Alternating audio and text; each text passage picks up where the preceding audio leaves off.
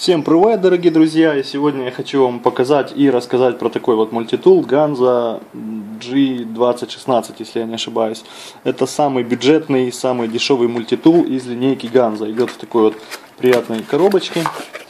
Так, здесь у нас чехол и непосредственно сам мультитул. Вот так вот он выглядит в такой камуфляжной окраске. Вот, э, сначала мне показалось, что это пластик. Реально, он такой по звуку, как, как будто пластмассовый. Я даже посмотрел вовнутрь.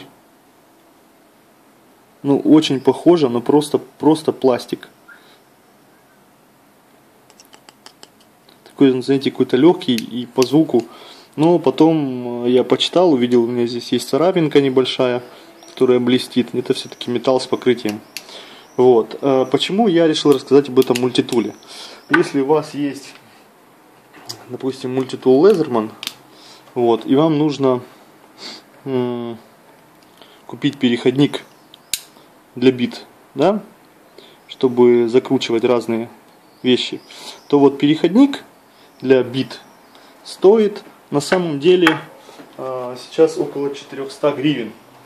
Это ну, не так уж и дешево. Я не знаю, если перевести на другие какие-то валюты. Сейчас покажу примерно. Вот это вот такой вот переходничок, который у нас ну, самый обычный, да, но в лазермане немножко другой, который у нас вставляются такие вот биты, которыми мы, мы что-то откручиваем. Итак, что интересно, что переходничок, вот этот вот битодержатель от Ганза, подходит на лазерман. То есть, да, и вы можете спокойно им работать. Но что интересно, что э, переход, переходничок вот этот вот на Лазерман стоит столько же, сколько весь вот этот вот мультитул Ганза э, с битами, переходничками и прочим. Поэтому я вот хочу попробовать сейчас, что же этот Ганза у нас умеет. Э, ну, давайте пройдемся по по, по, по инструментам. Здесь заявлена сталь 440 Си. Ну, я честно сомневаюсь, что как бы во всех инструментах такая сталь. Ножичек. Ну, давайте попробуем, как он у нас строгает деревяшечку. Здесь у меня линолеум, ничего страшного. То есть я могу немножко построгать, потом это все дело убрать.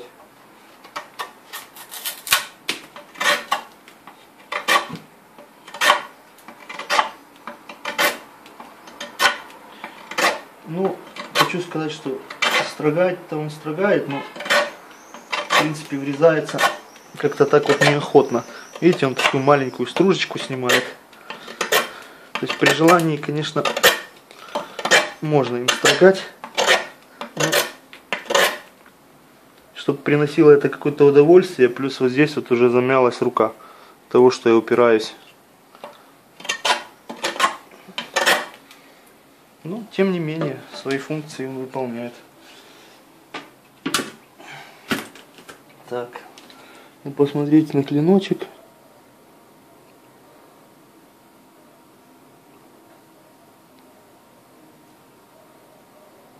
Я вот чувствую, что здесь есть какой-то микрозамин, хотя я его не вижу.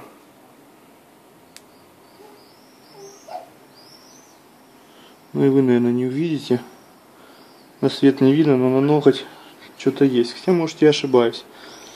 А, механизм запирания инструментов здесь отсутствует, поэтому вот этими вот болтиками регулируется натяжка.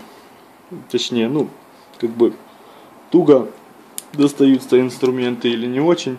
Что самое интересное, что сами битки от Ганза не подходят к Ганза. Вот. Нужно это было все делать другим инструментом. Маленькая отверточка.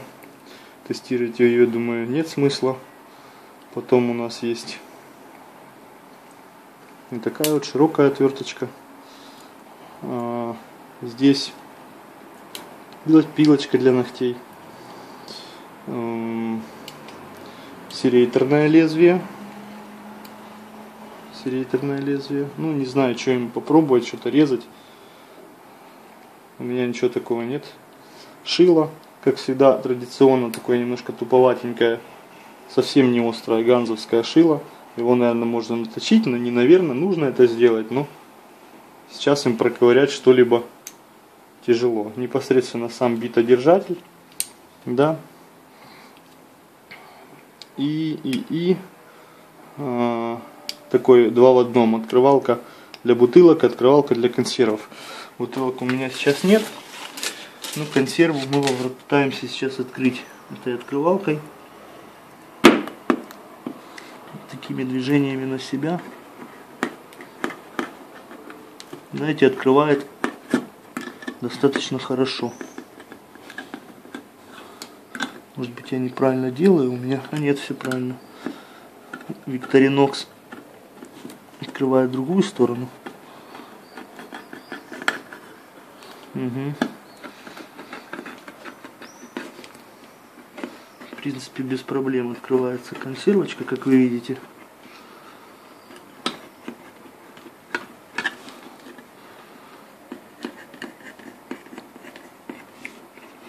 Вот.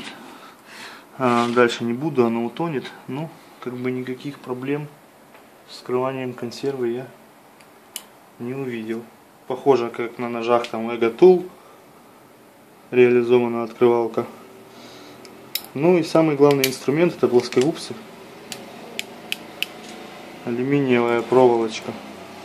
У нас перекусывается без проблем.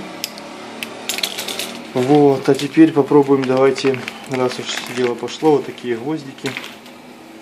Толщиной, ну, может миллиметр, может полтора. Стальные. Сейчас попробуем перекусить его.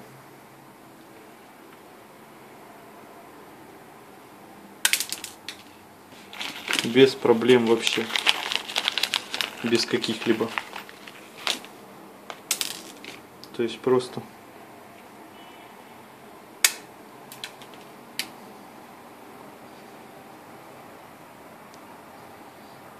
перекусывает. Хорошо. Вот такой вот мы заметим, кстати, когда мы клацаем, инструменты начинают выпадать из-за того, что отсутствует замок запирания. Но тем не менее, деньги, которые стоит вот этот мультитул, я повторю, что он стоит как просто битодержатель от Лезермана. Думаю, что лучше купить Ганза, и у вас будет еще один мультитул, который не стыдно где-то взять с собой, не стыдно потерять, там кому-то подарить и просто им пользоваться. Вот как бы в свое удовольствие. Все, всем спасибо. Это был еще разок. Ставьте лайки, подписывайтесь на мои видосы. Увидимся. Пока.